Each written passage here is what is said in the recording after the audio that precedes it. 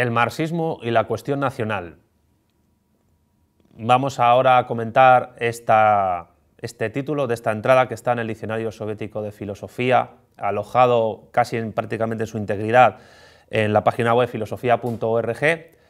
y que, y que tuvo varias ediciones y particularmente en la del año 1959 es la edición de este diccionario soviético de, filosofía donde aparece eh, una entrada dedicada a esta obra eh, que dentro del marxismo-leninismo trata la cuestión nacional y que fue escrita por, el, mismísimo Stalin.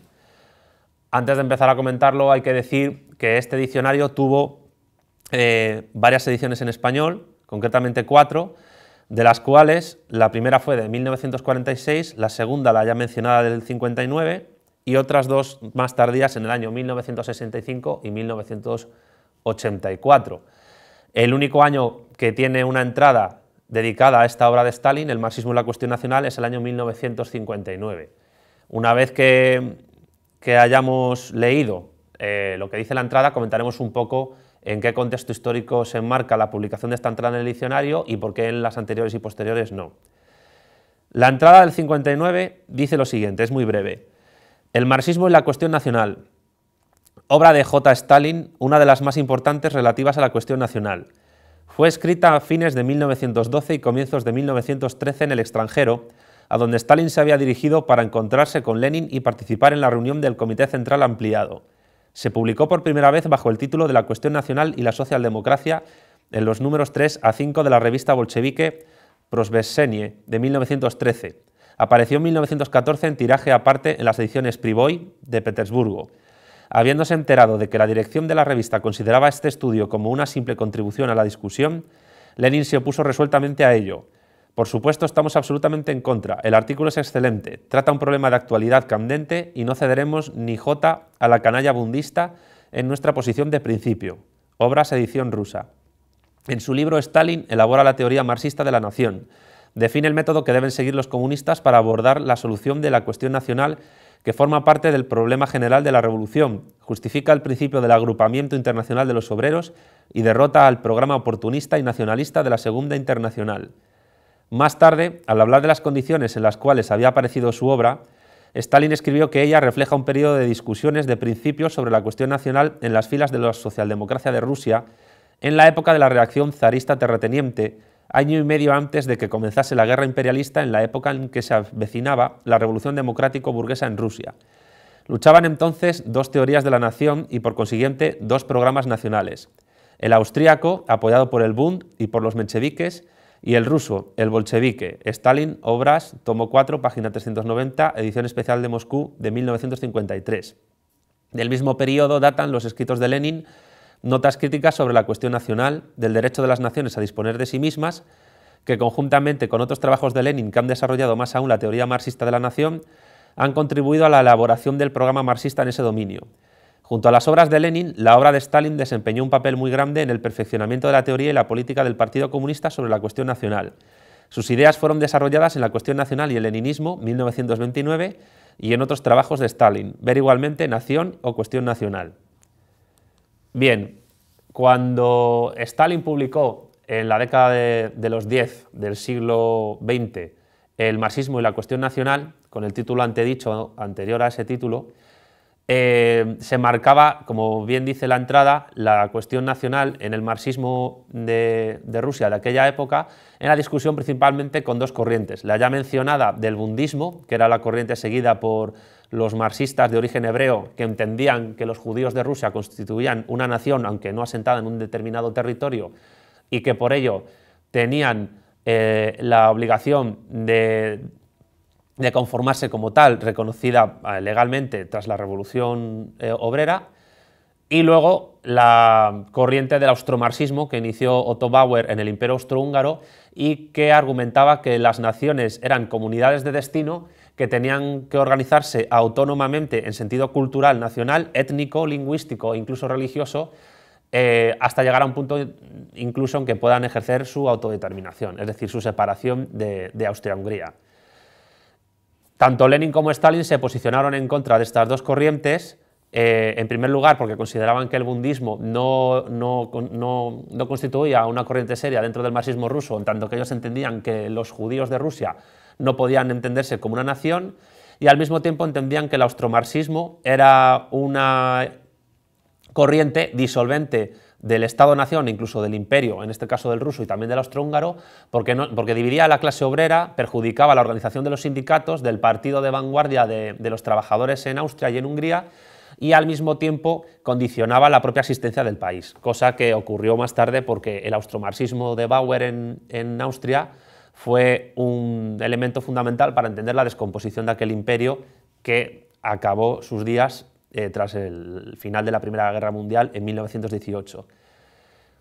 Eh, la ola de nacionalismo que vivió Rusia después de la revolución fallida de 1905 exigía a los bolcheviques cambiar de estrategia a la hora de entender la cuestión nacional. Por eso Stalin elaboró este, este, este, escrito contra esas dos corrientes, tratando de definir dentro de una perspectiva marxista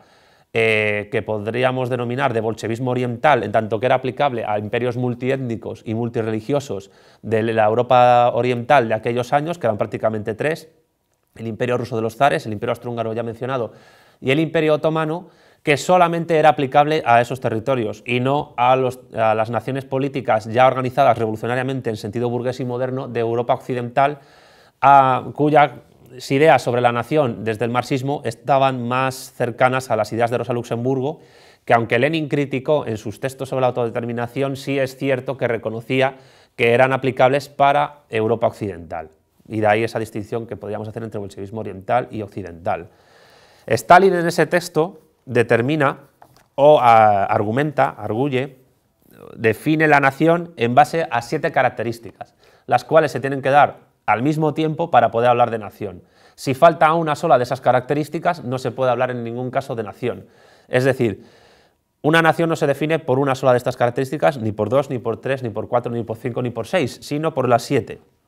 ¿Cuáles son esas siete características que Stalin desarrolla en su texto? Son las siguientes. Primera, la nación es una comunidad humana estable.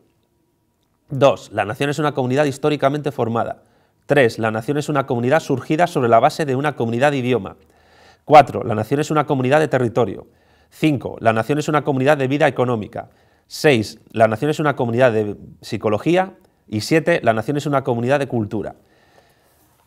Eh, esta denominación de lo que es una nación, si no se lee detenidamente el libro El marxismo y la cuestión nacional, puede parecer aplicable a cualquier tipo de territorio. Sin embargo, cuando se refiere a comunidad humana estable, históricamente formada sobre la base de un idioma, de territorio, de vida económica, psicología y de cultura, se refiere exclusivamente a la conformación de una sociedad política en un sentido nacional que se ha conformado en la edad moderna, es decir, con la modernidad, a través de una apropiación de territorio, a través de una eh, redistribución de, las tierras, a través de una composición de clases muy determinada y a través de unos determinados mecanismos que permiten organizar esa sociedad dividida en clases a través de una lengua común, de un mercado común, de una psicología y una cultura en común expresadas a través del sistema educativo, a través de la administración pública, incluso a través de ciertos folclores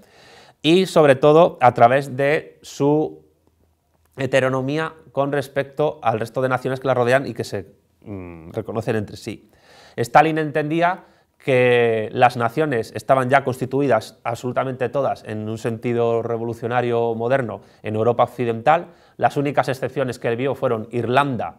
y Noruega, la primera porque era colonia británica y la segunda porque era una colonia sueca, aunque antes fue parte de Dinamarca, y Finlandia, que fue colonia sueca y luego colonia rusa.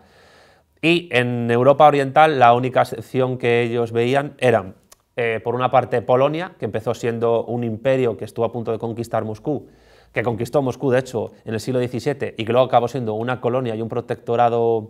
eh, ruso y después alemán hasta independizarse tras la Primera Guerra Mundial, y Hungría, que fue un reino eh, bastante potente en la Edad Moderna, hasta que después de la victoria en el siglo XVIII de los austríacos frente a los otomanos que intentaron conquistar Viena e imponer el Islam otra vez en Europa Central, lograron retirarse y a cambio consiguieron hacerse con el reino de Hungría, el cual se conformó luego como imperio austriaco, después como monarquía dual, imperio austrohúngaro y más tarde como Estado independiente, y poco más.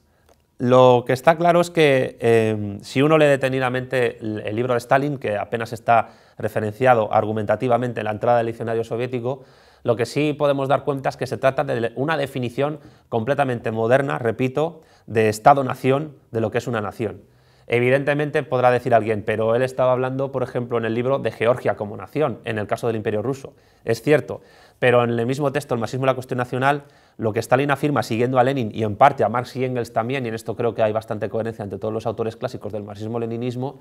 es que en Europa Oriental los imperios multiétnicos y multireligiosos que había no podían considerarse a sí mismos como naciones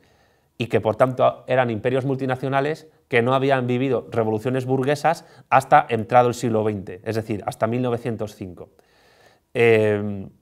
bien, es cierto que en algunos textos contemplaban que esa revolución burguesa se había empezado a dar en el imperio austrohúngaro, hasta el punto que hay textos contradictorios donde eh, se plantea la posibilidad de que Hungría o Checoslovaquia se pudiera separar de Austria y en otros casos donde afirma que la revolución burguesa en Austria ya se había dado en el siglo XIX. Pero esas contradicciones al final lo que evidenciaron fue la propia contradicción en sí que tenía el imperio austrohúngaro como sociedad política que pudiese sobrevivir a los tiempos que corrían eh, a finales del siglo XIX y principios del XX en la época clásica de lo que Lenin llamó el imperialismo.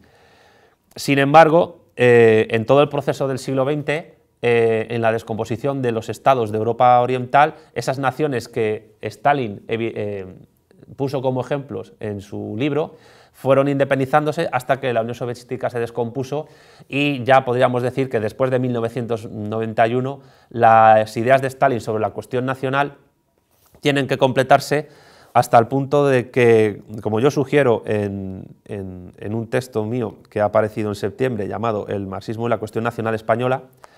Entiendo que habría una octava característica aplicada a Europa Occidental y América, que sería la nación es una comunidad ya constituida en Europa Occidental y en América en Estado-nación, en nación política.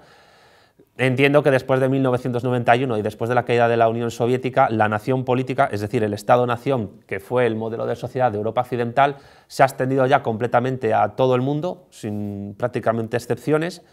y por lo tanto lo que valió en su momento para Europa Oriental desde la perspectiva del bolchevismo marxista-leninista mm, de Rusia, eh, ya no es que no valga, sino que tiene que adaptarse a una realidad en la cual la idea de autodeterminación se ha eh, perfilado mucho a través de los procesos de descolonización que hubo durante el siglo XX y, en la, y a un mundo en el cual el Estado-nación es la regla más que la excepción. Y hay que decir que la entrada del año 1959 del Diccionario Soviético de Filosofía sobre el marxismo y la cuestión nacional es una entrada que mm, en el contexto histórico en el que se publica eh, es bastante significativo, porque es un tiempo de descolonización, de procesos de independencia de las colonias de los imperios depredadores británico, holandés, belga, francés eh, y danés y portugués, entre otros, y, quizás conectando eh, la cuestión nacional con la cuestión colonial, eh, la Unión Soviética en ese momento se trataba de postular a nivel ideológico interno y externo de cara a, su política exterior, a sus relaciones internacionales con las colonias y con el resto de potencias del mundo, como uno de los adalides de la liberación de las colonias y su constitución en naciones políticas independientes que en un momento dado podían eh, girar o, o anexarse incluso a la Unión Soviética, como pasó con la República de Tuba en Asia, o eh, en el caso de, algunos países africanos que se mantenían como en el movimiento de los países no alineados, sin embargo, eran estados-nación que orbitaban ideológicamente cerca de las ideas que inspiraron la Revolución de Octubre de 1917, que en este año eh, celebramos su centenario.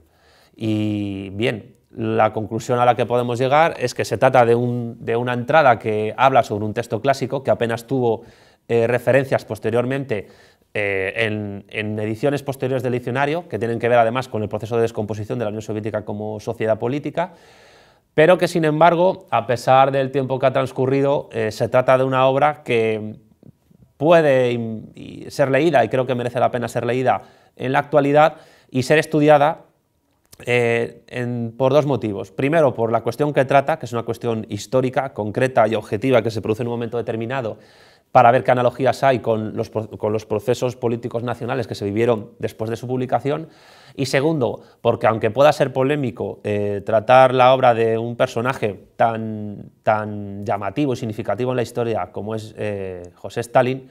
entiendo que tratar eh, las obras que en el mundo judeo-cristiano y greco-romano de ese tipo de influencia directa